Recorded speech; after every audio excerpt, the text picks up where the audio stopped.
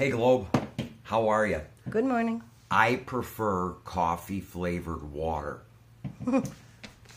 Check this one out. You should enjoy this. I heard Benny Joe Biden uh, say something about courage when he was in Ireland.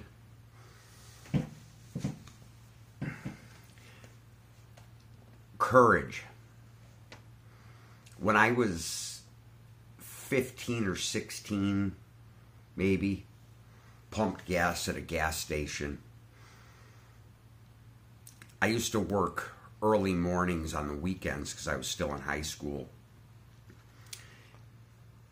At this gas station, there was a back bay, and there was a uh, abandoned car back there. The guard dog of this gas station's name was Satan. That's where Satan lived in this abandoned car in the back bay of this gas station. There was a guy, his name was Mark. Mark, if you're out there, love you, man. He slept with the guard dog, Satan, in his quarters, which were the abandoned car, in the back bay of this gas station.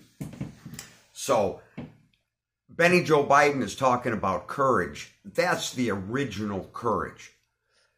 Sleeping with Satan? Satan? Sle- sleeping with Satan. Anyways, Jayne's going to tell you a story or something. It's not a story. It's it's actual truth.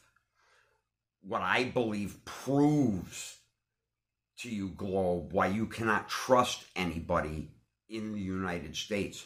This is about the latest fiasco in Richmond, Indiana, with a plastic warehouse and a plastic recycling fire.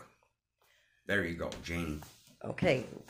We all know that residents and officials have been at that recycling plant. Not only did they not shut that business down before to help prevent and enforce the laws, I mean, there are fire vi- uh, lane violations, you name it. But it just shows you You've got trains, and Senator Schumer is telling people, hey, we need to write new safety laws for the trains. Well, okay, Senator Schumer. Why aren't you enforcing the laws already on the books throughout this country? And that's the that's the point. Those the, the, the, the government, the officials of that town knew that the hazard that that place was. Yeah, that yes. Allowed it to happen, and now you get this. Now for the EPA, anybody, any town, any people that are downwind of that, their air, their land, their water needs to be checked as well. You should have seen the haze in Western New York because the wind blew directly in this direction. Yeah, yeah. You, you. Th- For this days, is a farce. A farce. Love you, Globe. Take care. Love you. Love you. Bye.